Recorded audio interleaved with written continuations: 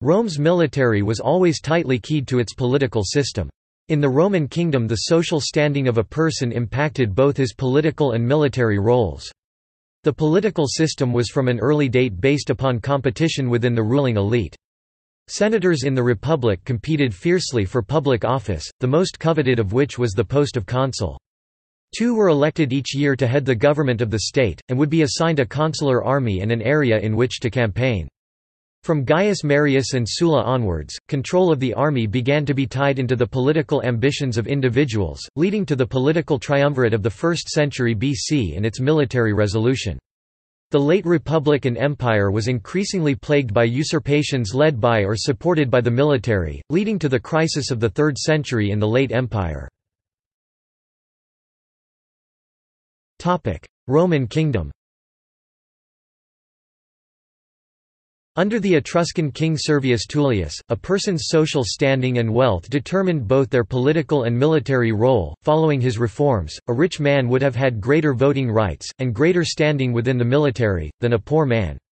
A further politicization of the military involved officers for a unit not belonging to and being drawn from the class of the military unit he commanded but being selected often through voting. Roman Republic In the Republic, the tradition of social class determining military duty continued. Despite structural changes, the rich equestrians continued to serve together in the equites for instance, but the lower ranks became less politicized and based upon a mix of social class, age, and military experience rather than social class alone. For non-citizens, 25 years in the army was a guaranteed way of gaining citizenship for them and their family. Despite these changes on the bottom rungs of the military, amongst the army's commanders a process began of politicizing military command. In the Republic, military service made a person of the equestrian class eligible for a wide range of profitable postings, military triumphs boosted a person's career, and military service became a pre-requirement for a number of political posts. Intended initially to ensure that all political leaders had shown dedication and duty serving in the military, the effect was to cause military experience to become of paramount importance to a Roman's political career, with the eventual consequence that armies would become tools for the political goals of their generals, rather than neutrally aligned forces of the state. At the highest level, two consuls were elected each year to head the government of the state and simultaneously were appointed the commanders-in-chief of the Roman army, and would be assigned a consular army and an area in which to campaign. From late Republic to mid-Roman Empire In 100 BC, Lucius Apuleius Saturninus was tribune and advocated several social reforms, among which was a bill that gave colonial lands to war veterans, a suggestion that was radical and displeasing to the patrician Senate, which opposed the measures. Violence broke out and the Senate ordered Gaius Marius, as consul for that year, to put down the revolt. Marius, although he was generally allied with the radicals, complied with the request and put down the revolt in the interest of public order. The political issue of land allocation for Rome's military veterans would return several times to haunt the state including 14 AD when an army in Central Europe mutinied over the failure of the state to provide land plots for soldiers. After the conclusion of the Social War, certain of Rome's eastern provinces became under threat of invasion and it was necessary to raise an army to counter the threat. The choice before the Senate was to put either consul Marius or consul Sulla in command of an army. There was already a fierce rivalry between the two, in part due to a competitive instinct amongst the two as successful generals, but more importantly distrust on Sulla's part that Marius held unhealthy ambitions. The Roman Republic was always on guard against any citizen gaining too much prominence, lest he seize power and restore Rome as a kingdom, thus a series of checks and balances existed, such as consuls having to be re-elected annually.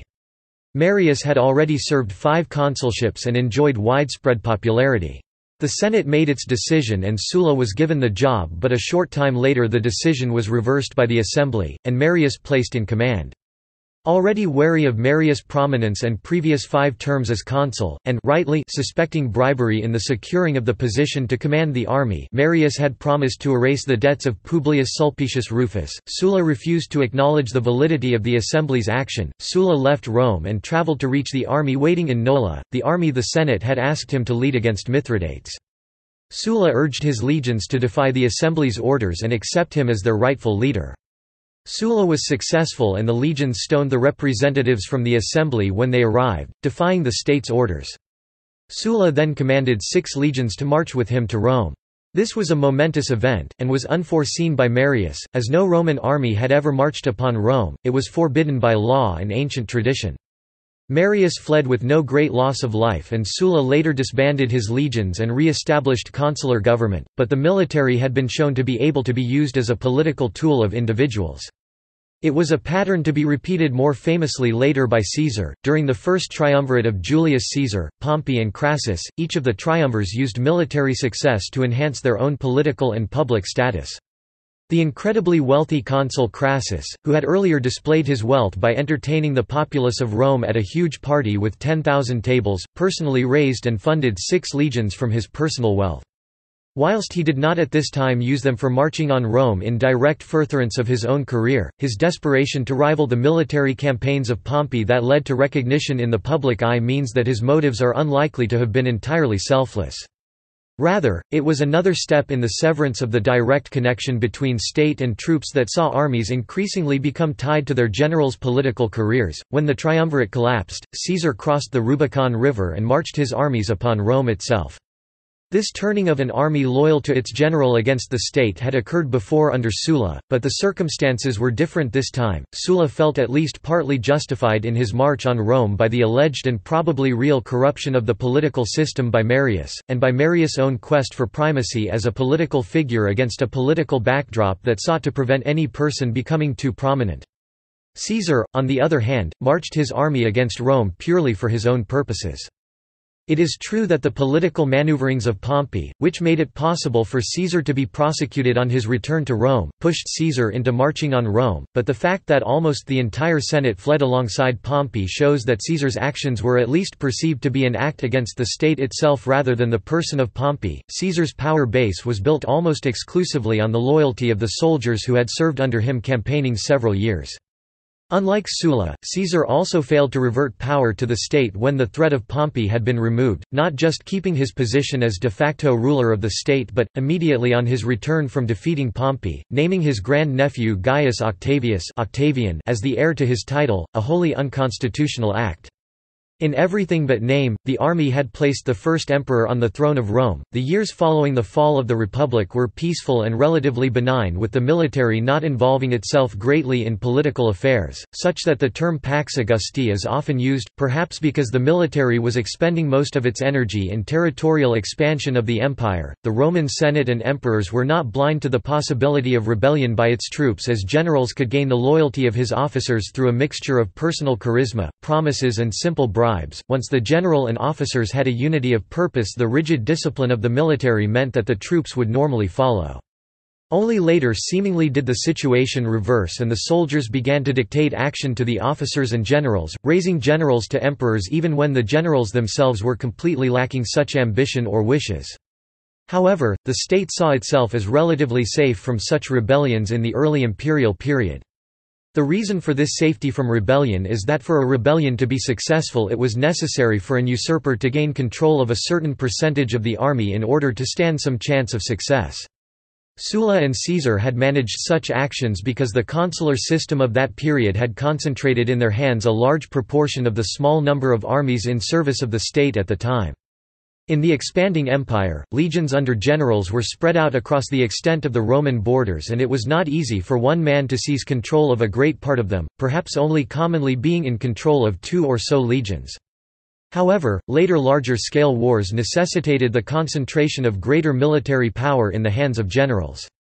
There is evidence of emperors holding some members of generals' families as hostage to ensure their loyalty.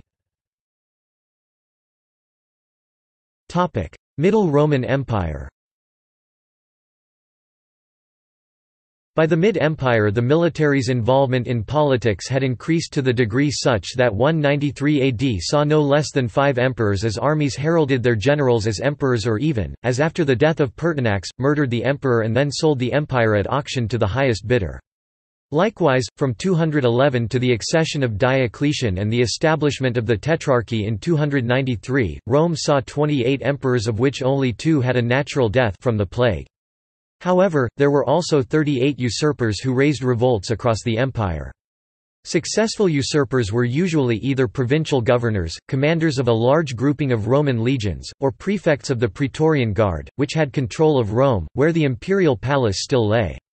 The problem of usurpation seems to have lain at least partially in the lack of a clear tradition enshrined in law and popular will of an agreed method of ensuring succession, and also in the maintenance of large standing armies.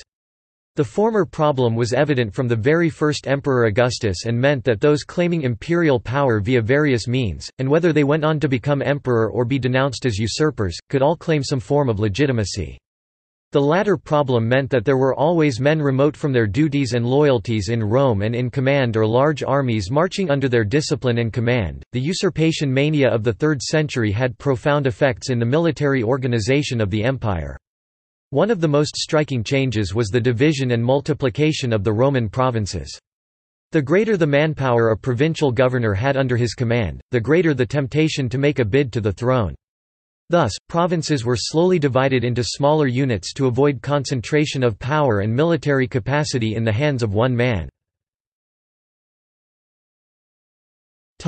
Late Roman Empire The beginning of the end of the Roman Empire did not start in a way that foreshadowed the downfall of a great power. The latter part of the Roman reign began when Diocletian r. 284 AD emerged. Diocletian was a strong and able leader but by creating smaller provinces, he effectively split the empire into two parts, east and west. The maintenance of legions in a «strategic reserve» Some distance behind the frontier and close to the emperors must also have been partially attributable to a need to preserve against rebellion by Roman border armies as much as against external invasion by an enemy.